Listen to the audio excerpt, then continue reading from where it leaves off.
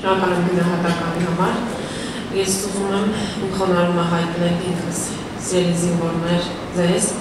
շնորհակալություն հայտնել եւ նաեւ զոհված ծառայողներին, բարեկամներին ու ծնողներին։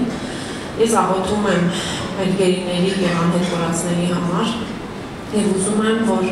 մենք անընդհատ չտխրենք սիրելի ժողովուրդ։ Մենք պիտի մեր մեջքը ուղենք, ինչքան էլ դժվար լինի։ Մեր բանակը պիտի մեր մեջքը ուղի մեր ժողովուրդը իր մեջ պիտի ուղեն, մենք այլընտրանք չունենք, քան հզորանալը, ու պիտի հզորանանք, որ կարողանանք մեր տարածաշրջանում դիմակայել մարտահրավերներին, ու հզորանալու համար յուրաքանչյուրս անելիք ունենք, ոչ մեկ թող չհամարի, որ ինքը անելիք չունի այս երկրում, բոլորիս միասնական ջանքերի շնորհիվ մենք կկարողանանք ունենալ իսկապես հզոր Հայաստան եւ թեկուզ բլուր բլուր հետ բերենք մեր կողտրածը։ Շնորհակալ եմ։